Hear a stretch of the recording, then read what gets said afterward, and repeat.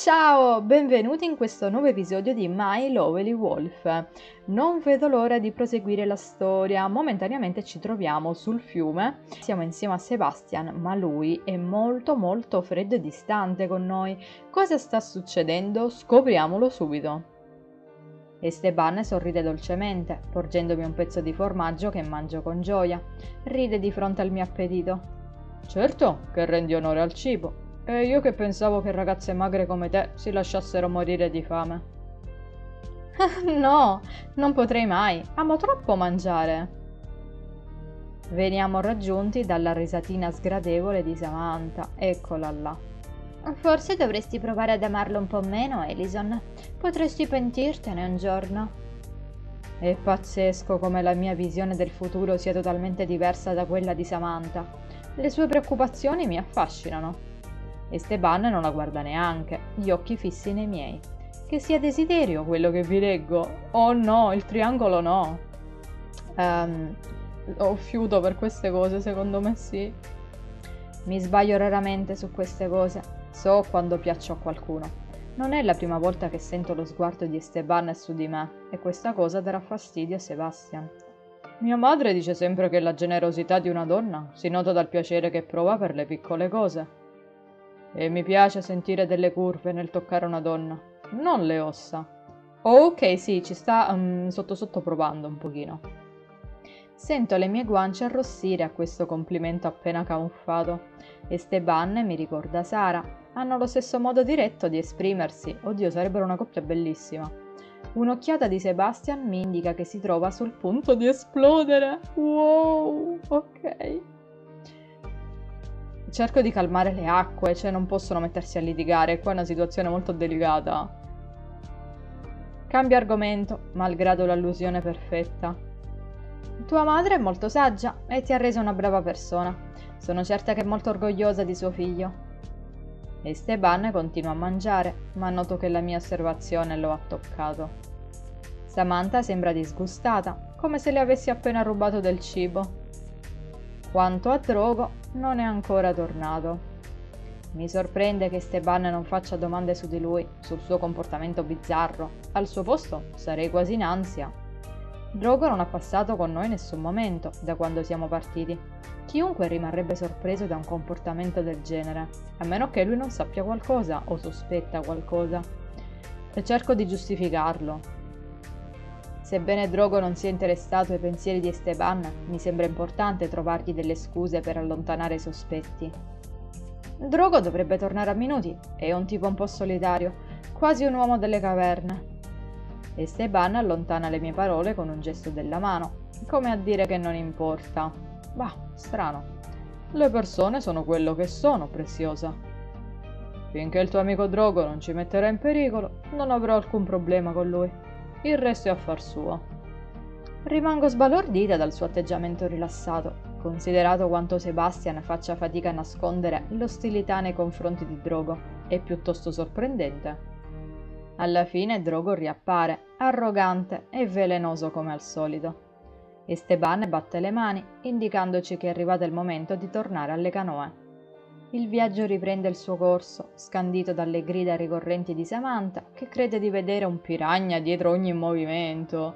Ma dai! È imbarazzante! L'avventura non fa decisamente per lei. Sarebbe dovuta restare a Mystery Spill, appunto, e venire Sara al suo posto. Ve lo assicuro, ho visto un piranha, proprio là! Guardate! Sta zitta, o ti getterò in acqua, così potrai controllare da solo. e Drogo lo farebbe. Sorrido, trattenendomi dall'offrirgli il mio aiuto. Le ore passano senza che Sebastian pronunci parola, se non per borbottare qualcosa tra sé, ma quindi continua a non parlarci. Mi sento sollevata quando finalmente Esteban ci segnala di avvicinarci alla riva. Scendendo dalla canoa, noto che questo lato del fiume è più selvaggio dell'altro il terreno è meno praticabile, invaso dalla flora che ha occupato questa parte della foresta. Da qui il nostro prossimo accampamento è solo a poche ore di marcia. Non andatevene senza l'equipaggiamento. Solo a poche ore?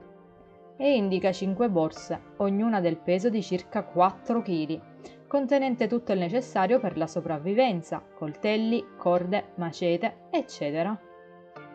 Samantha si lamenta nell'indifferenza generale. Da parte mia sono felice, amo l'avventura, mi sento totalmente nel mio elemento. In effetti è troppo bello. Vi lascio controllare che ci sia tutto. C'è un inventario all'interno di ogni borsa. Ricordate di controllarlo ogni volta che ci fermeremo, o tirerete fuori qualcosa.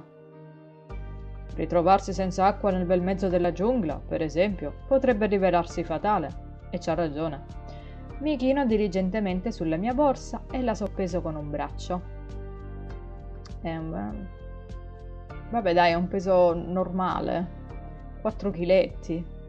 In effetti non trascino uno zaino tanto pesante ogni giorno, ma la mia vita quotidiana non ha nulla a che vedere con quella della giungla. Anche se... Dovrò semplicemente essere maggiormente prudente in terreni meno praticabili. Noto che Steban ha anche allegato una mappa della giungla, ma non include la famosa croce rossa che indica il tempio. E certo quella ce l'ha solo lui. Invece ha indicato la riva con una freccia blu tratteggiata e diverse posizioni sono evidenziate da punti di colori diversi. Sposto lo sguardo su di lui con un'espressione curiosa. Vi consiglio di orientarvi attraverso la mappa che avete nelle vostre borse. I punti colorati rappresentano dei punti di riferimento che vi aiuteranno a ritrovare la riva e le canoe. Doveste perdervi, queste carte potranno salvarvi la vita. Non sprecate tempo a cercare il gruppo e dirigetevi direttamente alle canoe. Sarà il nostro punto d'incontro, qualunque cosa accada. Ok. Annoiamo quasi religiosamente. Non ci attende un viaggio di piacere, anche se l'avevo già capito. La realtà mi colpisce in piena faccia. Non vedo l'ora. Aspetto questo momento da tutta la vita. Faccio fatica a contenere l'eccitazione. Non sono più la spettatrice di un documentario, adesso l'esploratrice sono io. Mentre l'ho visto nella mia borsa, trovo anche una torcia elettrica una fiaschetta piena d'acqua e dei razzi di segnalazione. Da accendere in spiaggia per segnalare la nostra presenza, presumo. Uno sguardo all'inventario e sono pronta a partire. Tutti gli strumenti di salvataggio sono lì solo per sicurezza.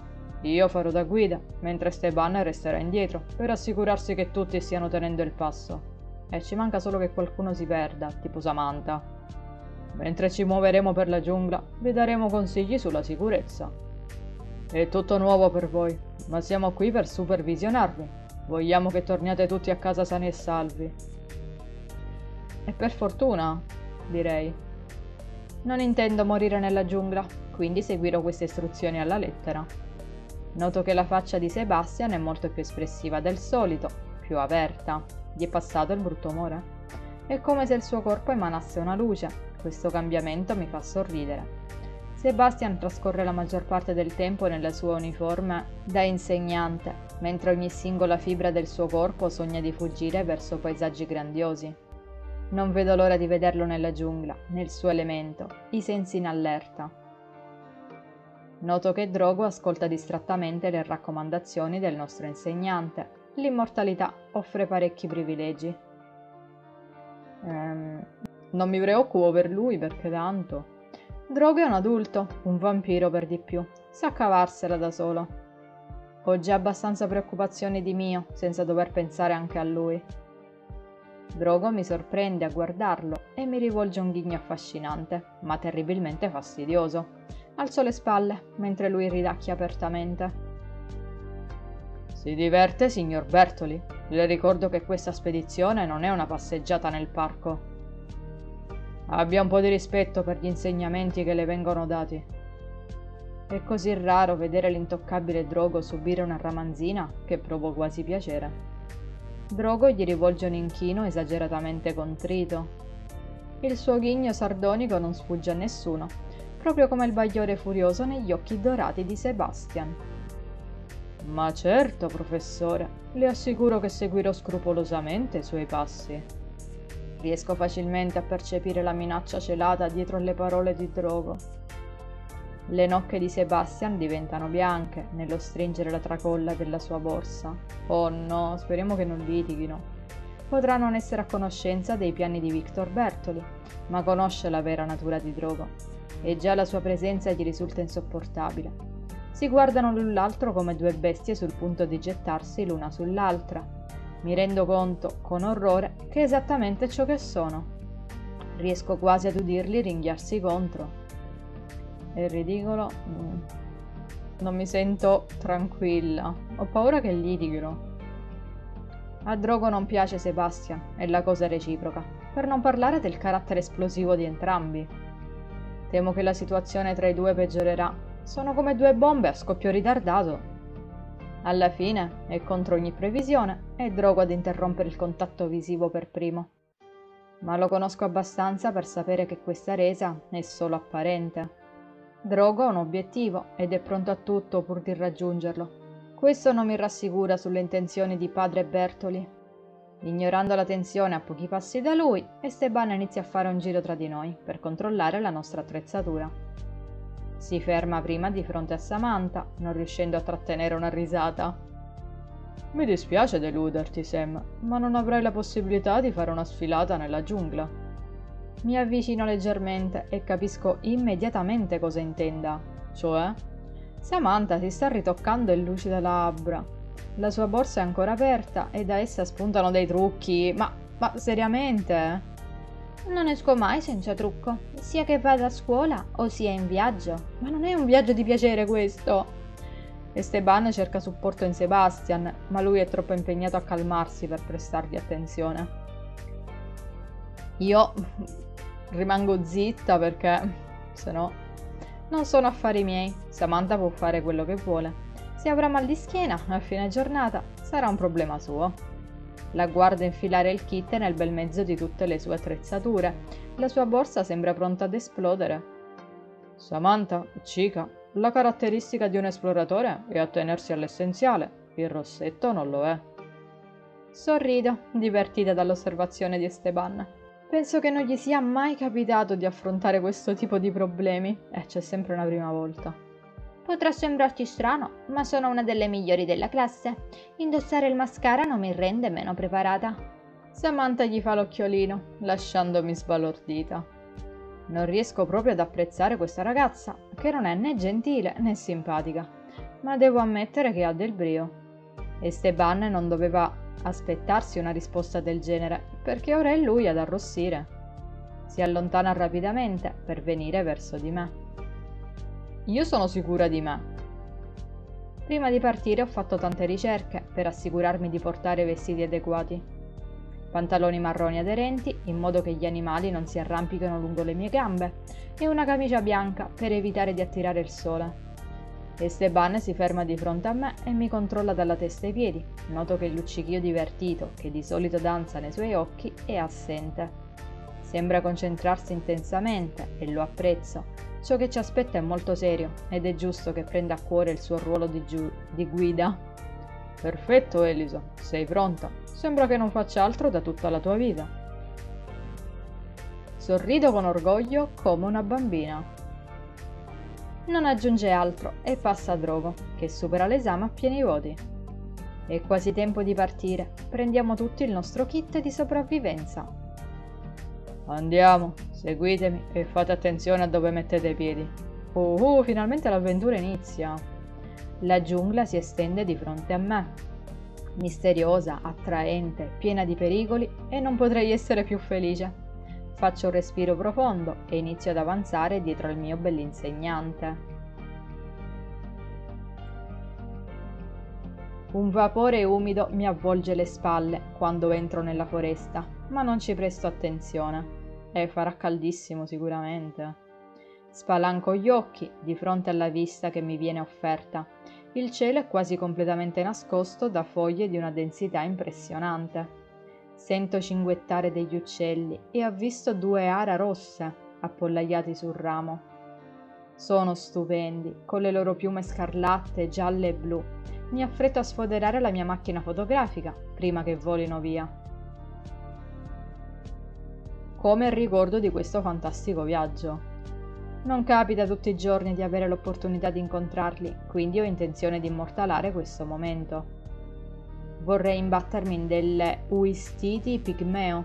Ho letto che sono le scimmie più piccole del mondo, con massimo 15 cm di grandezza in età adulta. Che carine che devono essere! Vivono solo in Amazzonia, quindi se voglio vederli, ora o mai più.